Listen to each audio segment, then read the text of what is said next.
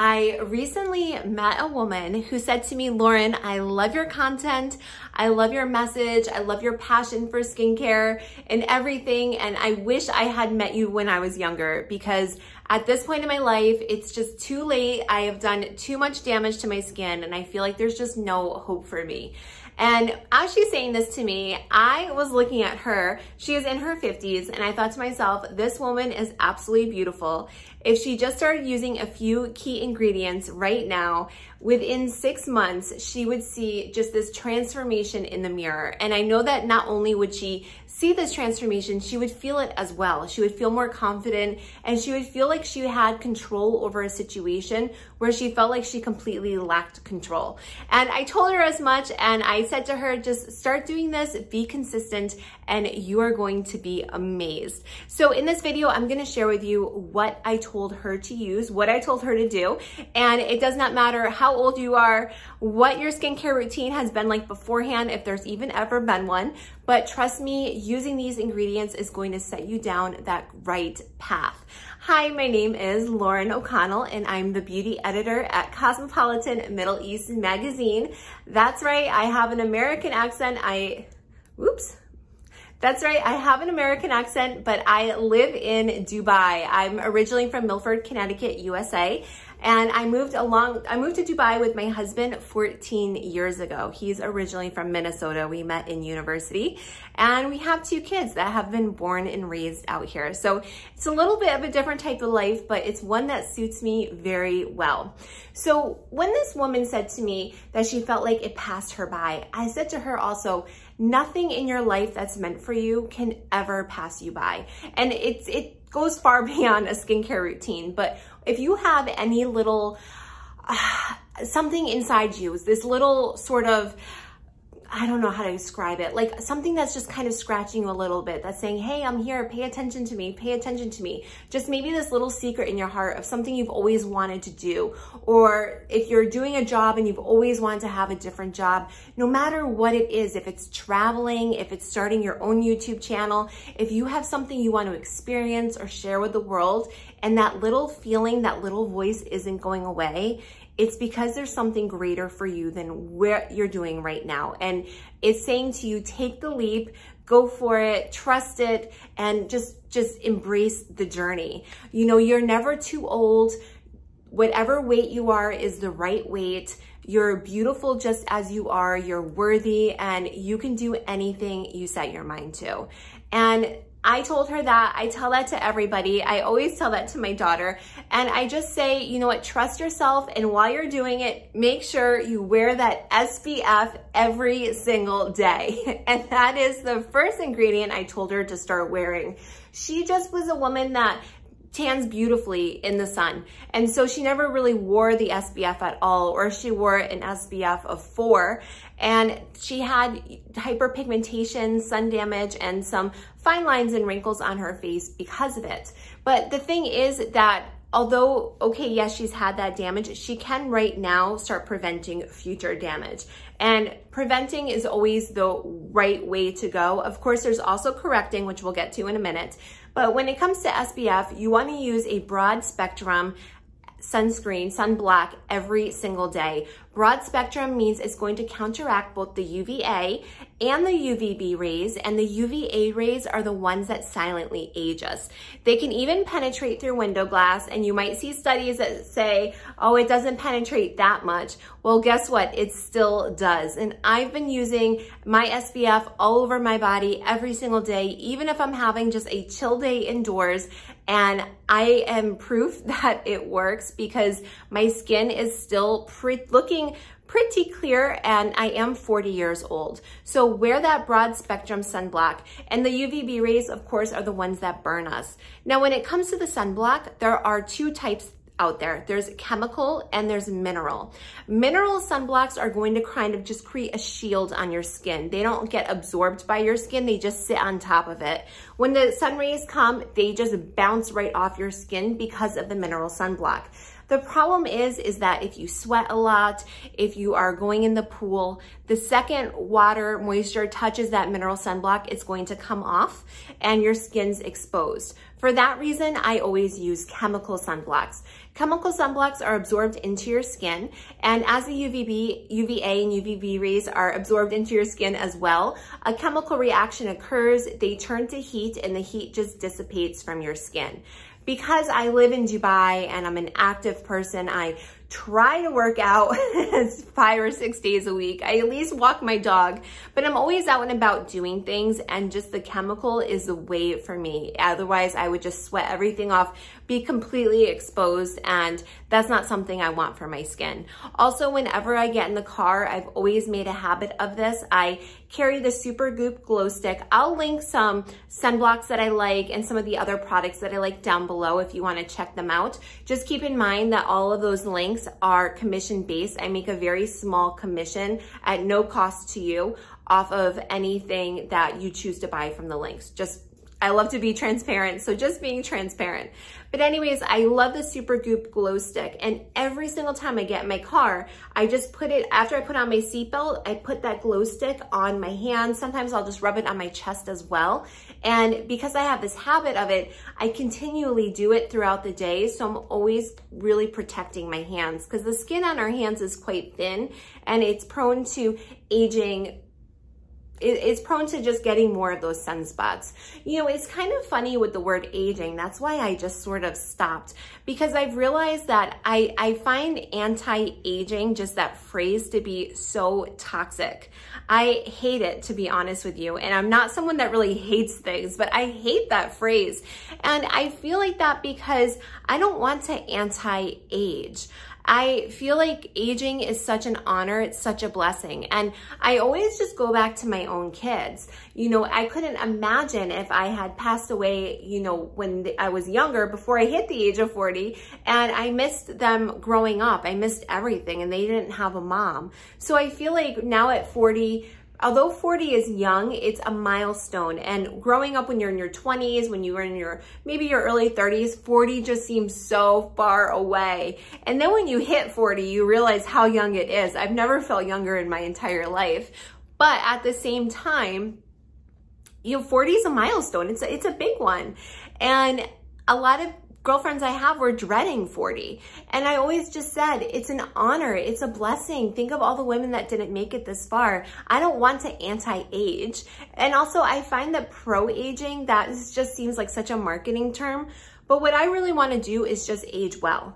I want to do it. I want to do it well and I want to enjoy it as much as I can in every way that I can and just fully embrace it. So I'm not against aging and I don't think that there's anything wrong with having fine lines, wrinkles, and sunspots, but I also just want my skin to look the healthiest. I want my skin and my, my, my outer self to just reflect on, reflect how I feel inside. That's what I'm always going for. And I like to look healthy and juicy. I like to look plumped up and you know, it suits me, it works for me. And these ingredients help me get to that place. And they also just keep my skin barrier healthy. They keep my, my body very healthy. So I think for me, it's a win-win situation.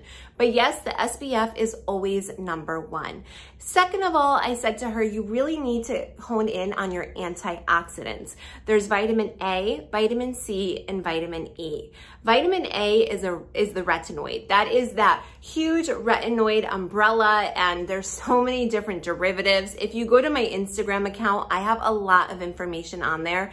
Um, you have to scroll down a little bit, but I made a really nice infographic a while ago. And if you look at the text box, there's so much. I should probably make a video on it. But uh, there's lots of different types of retinoids. Now, I personally love hydroxypinacolone retinoate. I know that that is a mouthful. It's usually abbreviated to HPR. This is a retinoic acid ester. What that means is when you put it on your skin, the retinoic acid receptors within your skin can just pick up on it right away and it's just gonna start working a lot faster. If you are someone that is prone to breakouts, you might want to look at retinal. It's a retinaldehyde, but it's retinol with an A instead of the O. And that one needs to undergo just one reaction, chemical reaction before it can bind to those receptors, but it has an antibacterial, antimicrobial property as well. And from what I've read, it seems like it works really well for those with oily to uh, normal to oily skin or acne prone skin. But for me, I love the HPR. I think it just works so well. I can start to see the results so much sooner. And retinol, of course, or the retinoids, of course, they're going to increase the cell turnover and you're just going to have skin that looks a lot healthier more youthful, plumped up, and, minimize those fine lines and wrinkles and just keeping that skin looking incredibly radiant. Now, moving on from vitamin A, there's then vitamin C, which is probably one of my favorite skincare ingredients. This one is going, this is, this antioxidant is going to really brighten your skin. It's going to smooth out your fine lines and wrinkles, minimize the appearance of hyperpigmentation. I use it every single morning. It also counteracts oxidative stress. So if you're having that type of sun exposure, it's not going to replace your SPF, but think of it as putting maybe croutons on a salad. It's just a nice little bonus to have. But I am a huge fan of vitamin C and I love tetrahexyldecyl ascorbate. Another big one that you can reduce to THD ascorbate. And there's so many great THD ascorbate uh, serums out there. I do have videos on my morning and my evening skincare routine, and I'll link those down below as well. I do also have videos on morning and skincare routines that contain these ingredients I'm telling you about, and all of the products are under around $20 each or less. So if you're looking for lower price point items that still work, you wanna check out those videos. I'll make sure everything is down there. Lastly, vitamin E is a great one to smooth out those fine lines. And I love putting products that contain vitamin E underneath my eyes. That is going to really just help me with that area. Now, people always say to me, oh yeah, but you get Botox. And you know what? I have had Botox. All my Botox right now is worn off. There's no Botox on this face. I like to get Botox as a preventative. And you can see that my forehead doesn't move. My eyebrows don't move when I talk. You know, 10 years ago, no one ever commented on this to me. But now I think at 40, people are because they think I just look like I have a frozen face. But actually, I have never moved my eyebrows when I talk. I have no idea why. If you look back at my earliest YouTube videos or if you have the time and you want to, you can go to my Instagram account and scroll all the way back down to when I first started Instagram. I never move my eyebrows when I talk. I don't know if I just have a, I'm missing a muscle, if I have a, a really strong muscle down there or a weak one, I don't know, but this is how I am. But you can see that when I smile, oh, there's a little eyebrow hair here. What's on my hand? Oh, some eyeliner right there on my hand. I'm a little bit of a mess right now. But you can see when I smile, you can see I do have some crow's feet. So usually I just get a little bit right here. I think I get 10, 10, and then he puts 15 here. And I don't have the 11s, but I mean, I can move my eyebrows, of course. But you can see I was just getting it as a preventative just to, uh, you know, make sure I don't get the 11s because I just didn't want them. Not that there's wrong anything wrong with them. So I don't have any Botox right now, though I'm due soon. Actually, my doctor, uh, he sent me a text message saying, are you gonna come in soon? And I need to, I've just been super duper busy. But that vitamin E is a great one. And I have a video called How I Age Backwards, which it's funny when I made that, my account was still quite small and I just was trying to come up with different ideas for videos and that one went viral. That was my first ever viral video. Uh, it was just this year, it was in January. I had said to myself, I'm going to really get serious about my YouTube channel this year. And I decided in January, I would make a video every single day and publish it.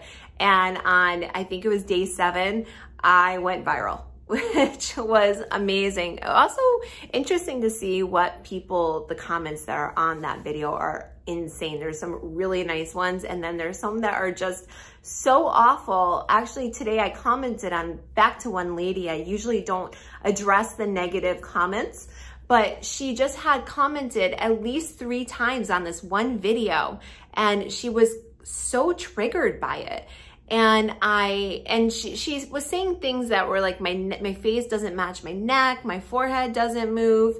Um, she's I don't know. She said some other stuff, and I I wrote her back and I said to her, you know, it, it's, I, I, can't remember exactly how I said it, but basically I said to her, this is very, you know, disturbing. and I said to her, you know, I'm, I'm coming from a place of compassion, but I really feel like you need to do some healing because commenting so many times on one video is just not, it's not a, a thing that someone who is doing that inner work would do.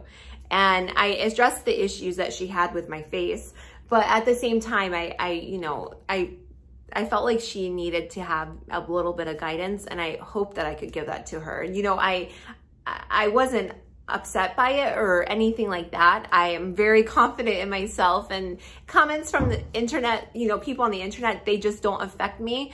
But I just felt like, wow, something is really going on with this woman. She needs some she needs some help. So I hope that I gave that to her.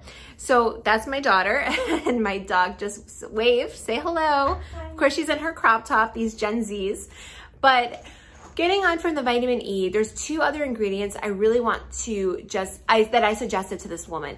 The first one is also, you have to get yourself in love with the alpha hydroxy acids.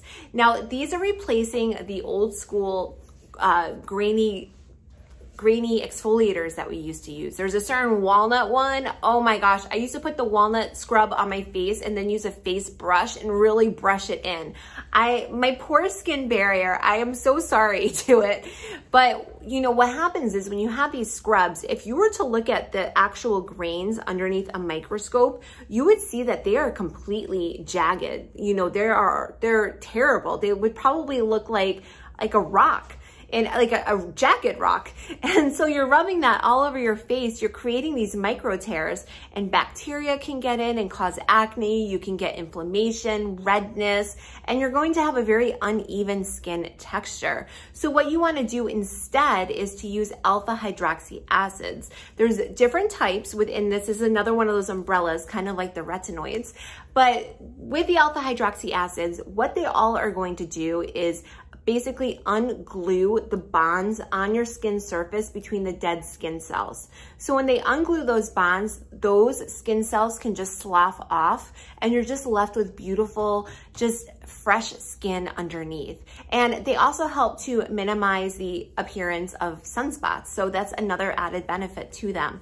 Lactic acid is one that's great for dry skin. I have dry skin and it has an added benefit of it increases the moisture in your skin by increasing the ceramide, ceramide production. And ceramides are part of our stratum corneum. That's our outer skin layer.